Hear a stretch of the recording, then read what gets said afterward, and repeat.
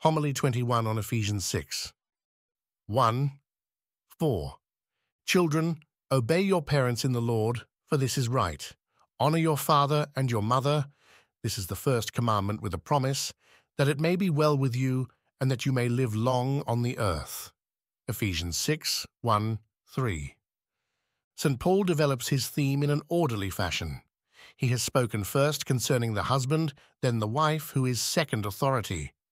Now he proceeds to the next rank, namely the children. The husband is the head of the wife, and husband and wife together have authority over the children. Listen to what he says. Children, obey your parents in the Lord, for this is the first commandment with a promise. He will not speak here about Christ or other lofty subjects, but will direct his words to young minds. That is also why this passage is very short, since children have a short span of attention. Nor does he speak here about the kingdom to come, since children would not be able to understand. But he tells what a child's soul wants to hear most how to have a long life. If anyone wonders why he doesn't speak about the kingdom of God, but simply gives them the Old Testament commandment.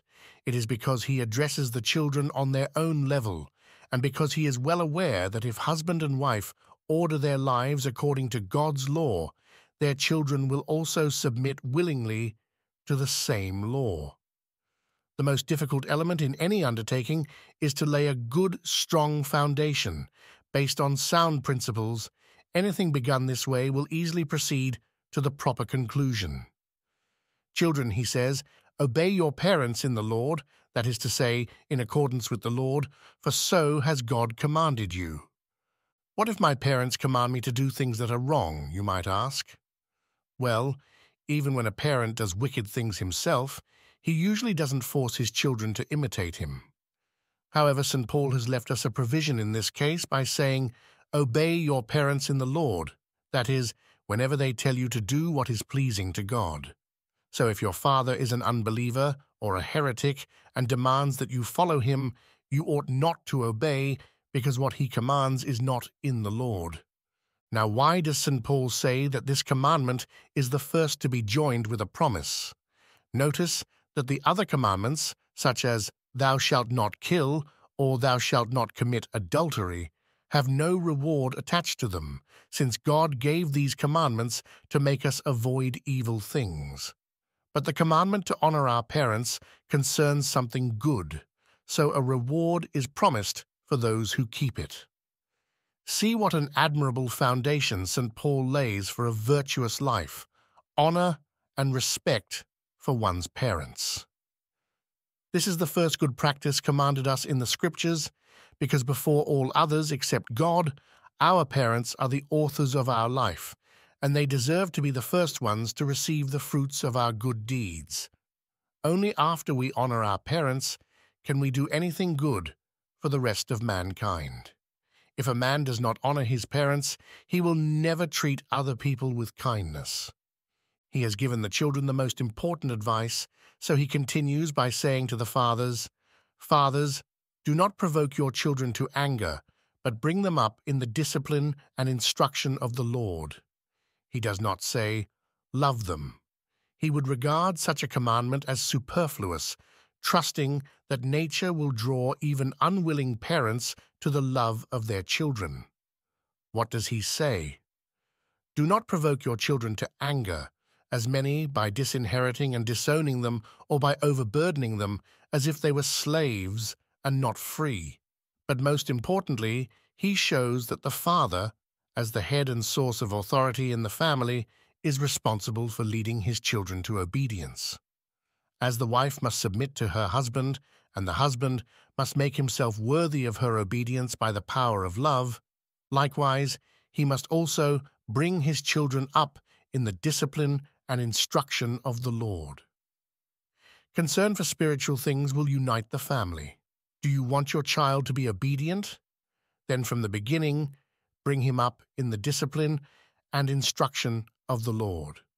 Don't think that it isn't necessary for a child to listen to the Scriptures. The first thing he will hear from them will be, Honor your father and your mother, and immediately you will begin to reap your reward. Don't say, Bible reading is for monks. Am I turning my child into a monk? No, it isn't necessary for him to be a monk.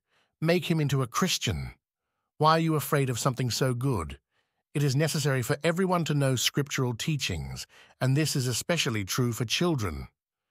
Even at their age, they are exposed to all sorts of folly and bad examples from popular entertainments. Our children need remedies for all these things. We are so concerned with our children's schooling. If only we were equally zealous in bringing them up in the discipline and instruction of the Lord. And then we wonder why we reap such bitter fruit when we have raised our children to be insolent, licentious, impious, and vulgar. May this never happen. Instead, let us heed the blessed Paul's admonition to bring them up in the discipline and instruction of the Lord. Let us give them a pattern to imitate. From their earliest years, let us teach them to study the Bible. He repeats this over and over again. You say, We are sick of listening to it. Never will I stop doing my duty. Why do you refuse to imitate the holy men and women of old? Tell me, especially you mothers, think of Hannah's example. Look at what she did. She brought Samuel, her only son, to the temple when he was only an infant. Who among you would not rather have a son like Samuel than one who became king of the whole world ten thousand times over? But it's impossible, you say, for my son ever to become as great as he. Why is it impossible? Because you don't really want it. You won't entrust him to thee. One who is able to make him great. And who is that? God. Hannah commended Samuel into the hands of God. The high priest Eli had no real ability to form him, since he even failed to form his own children. It was the mother's faith and zeal that made everything possible. He was her first and only child. She didn't know if she would ever have another, yet she never said, I'll wait until he grows up. He should have a taste of worldly pleasures during his childhood at least. No, she rejected all these thoughts, for she had only one object, how from the very beginning she could dedicate her heart's delight to God. Be ashamed, you men, at the wisdom of this woman. She gave Samuel to God, and with God she left him, and thus her marriage was blessed more than ever, because her first concern was for spiritual things. She dedicated the first fruits of her womb to God and obtained many more children in return. She saw Samuel honored even in this life. If men return honor for honor, will not God do much more? He gives so much even to those who don't honor him at all. How long are we to be mere lumps of flesh? How long will we cling to the ground? Let everything take second place to our care for our children, our bringing them up in the discipline and instruction of the Lord. If from the beginning we teach them to love true wisdom, they will have greater wealth and glory than riches can provide. If a child learns a trade or is highly educated for a lucrative profession, all this is nothing compared to the art of detachment from riches. If you want to make your child rich, teach him this. He is truly rich who does not desire great possessions or surround himself with wealth, but who requires nothing. This is how to discipline and teach your child. This is the greatest riches. Don't worry about giving him an influential reputation for worldly wisdom, but ponder deeply how you can teach him to think lightly of this life's passing glories. Thus, he will become truly renowned and glorious. Whether you are poor or rich, you can do this. These lessons are not learned from a skillful professor, but from divine revelation. Don't ask how he can enjoy a long life here, but how he can enjoy an infinite and eternal life in the age to come. Give him the great things, not the little things. Don't strive to make him a clever orator, but teach him to love true wisdom. He will not suffer if he lacks clever words, but if he lacks wisdom, all the rhetoric in the world can't help him. A pattern of life is what is needed, not empty speeches, character, not cleverness, deeds, not words. These things will secure the kingdom and bestow God's blessings. Don't sharpen his tongue, but purify his soul. I don't mean that worldly learning is worthless and to be ignored, but it should not be an exclusive preoccupation. Don't think that only monks need to learn the Bible. Children about to go out into the world stand in greater need of scriptural knowledge. A man who never travels by sea doesn't need to know how to equip a ship or where to find a pilot or a crew, but a sailor has to know all these things. The same applies to the monk and the man of this world. The monk lives an untroubled life in a calm harbour, removed from every storm, while the worldly man is always sailing the ocean, battling innumerable tempests. Would you like me to give examples of men whose lives were patterns of virtue, even though they lived in the world? These days we have none to compare with them, even among the righteous. I am referring to the holy men of the Old Testament. How many of them had wives and children, yet were in no way inferior to the greatest ascetic?